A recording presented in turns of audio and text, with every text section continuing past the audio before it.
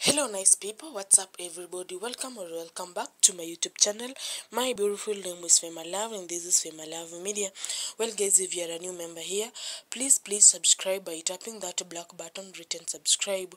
Also press the notification bell so that you do not miss out on my daily updates. Well if you are a returning viewer karibu sana. Comment like and share this video.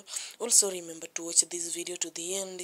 Well from the view you can see zari the boss lady together with her only daughter Princess Tiffah Dangote. Well, Tiffah is also the Diamond Platnumz's daughter. Well, they were dancing and actually they seems that they were competing.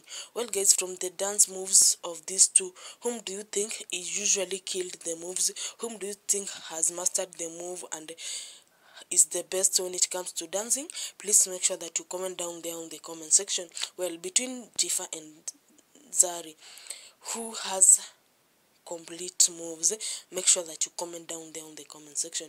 Guys also remember that this girl is trying to take his father's footstep because we know that Diamond Platnumz is an an artist and this girl seems to be interested in it.